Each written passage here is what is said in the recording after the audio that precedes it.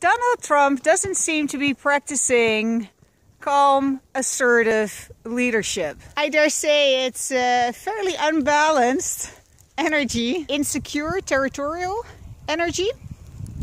Hence the wall. He doesn't seem to be practicing calm, assertive leadership. And I don't think he even owns a dog. How is he ever going to learn to be a calm, assertive leader?